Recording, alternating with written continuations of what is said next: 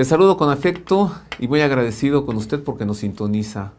En la siguiente nota en video que le entregamos, le hablaremos sobre el Papa Julio II, un gran papa en verdad, un gran mecenas del arte además.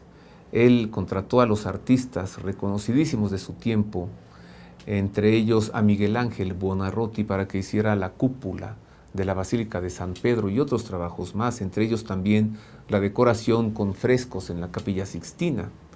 Además le pidió que le hiciera su tumba, el mausoleo del Papa Julio II, donde está el Moisés de Miguel Ángel y que se encuentra en la Basílica de San Pedro en Cadenas, en la ciudad de Roma. Conozcamos pues enseguida algo de la vida del Papa Julio II.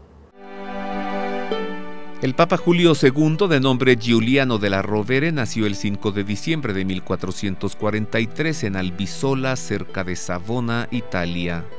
Su pontificado inició el 28 de noviembre de 1503.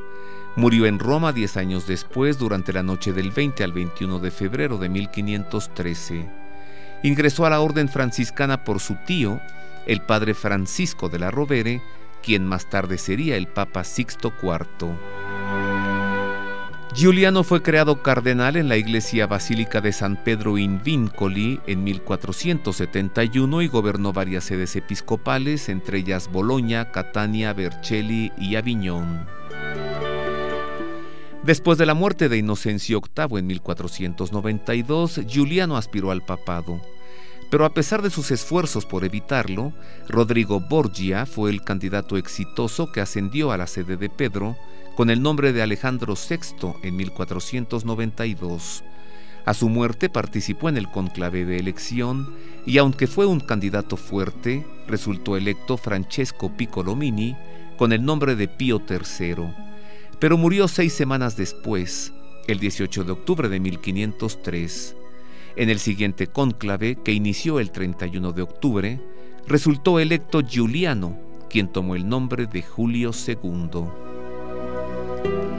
Este papa fue principalmente un soldado, y la fama que acompaña a su nombre se debe especialmente al restablecimiento de los estados pontificios, a la liberación de Italia de la sujeción a Francia y a su gran amor por el arte.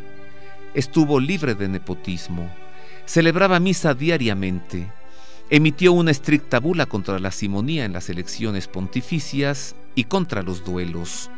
Erigió diócesis en las recientemente descubiertas colonias americanas de Haití, Santo Domingo y Puerto Rico.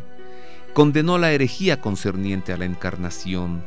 Emitió varias ordenanzas para las reformas monásticas.